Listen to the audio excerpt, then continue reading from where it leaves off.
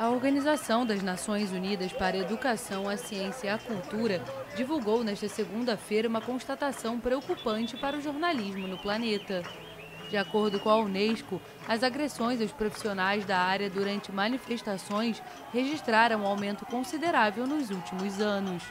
Os atos de violência são especialmente realizados por forças de segurança. Em 2015, a agência da ONU registrou 15 manifestações nas quais os jornalistas foram impedidos de exercer a profissão, mas o número subiu para 32 em 2019.